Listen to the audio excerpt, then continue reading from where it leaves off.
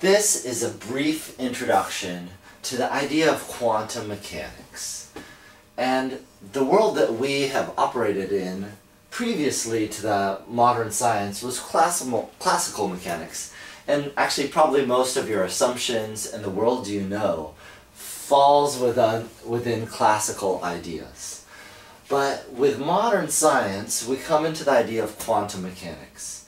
And what this next unit is going to hold is giving five examples from modern science of how we got to the idea of classical mechanics. So what quantum really says, or what classical says, is that everything's possible, any energy is possible, uh, and we can go for all those things.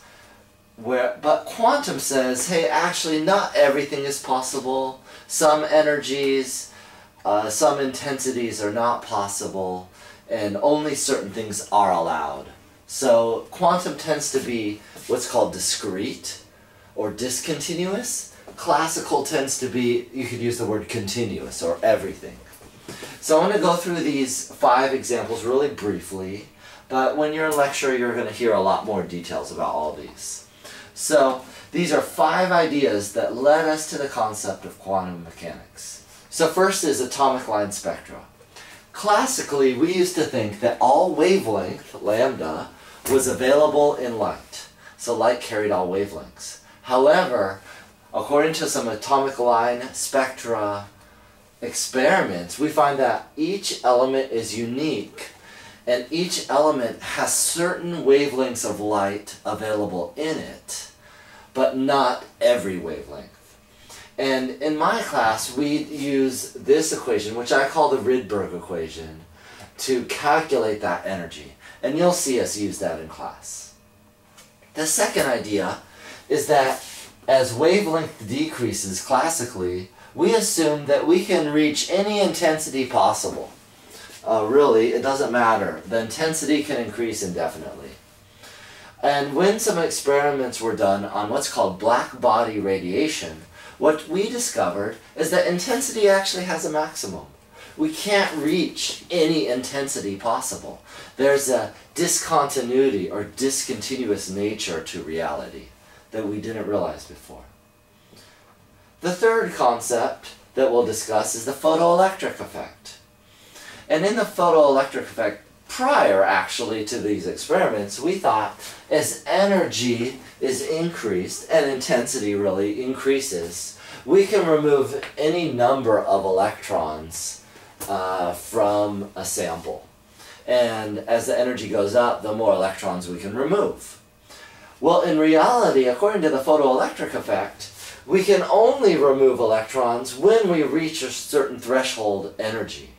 And then the removal of electrons is possible above that energy. So really there's a discontinuity to the energy that we didn't expect before. And that's described by the photoelectric effect. The next concept, the fourth one, is we used to think that either something is a wave or it's a particle. It's one or the other, I mean, come on. But according to de Broglie, it can be both, meaning that something can act as a wave uh, or a particle, that same entity. And that's kind of weird. It's not what we expected uh, before. We kind of put things into its boxes. So, and Broglie uses an equation that looks like this. Lambda wavelength is Planck's constant over mass times velocity that we'll use in class.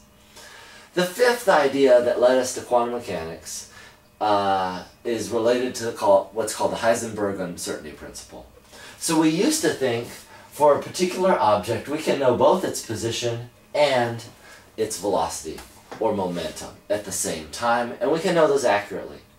But actually what reality tells us, and uh, according to the Heisenberg uncertainty principle, is that we can either know the position or the velocity accurately, but we cannot know both accurately. So there's give and play, you can know one or the other, and that's described by this equation that we'll see in class. The uncertainty of position times the uncertainty in the momentum is greater than or equal to h over 4 pi, or Planck's constant over 4 pi. So these four ideas, which we'll go over, give us kind of an idea of a new reality in modern science called the quantum world. And uh, these are the five concepts, and on three of these, atomic line, de Broglie, and Heisenberg, we're going to do some, uh, what will turn out to be relatively, relatively simple math calculations to determine some interesting variables.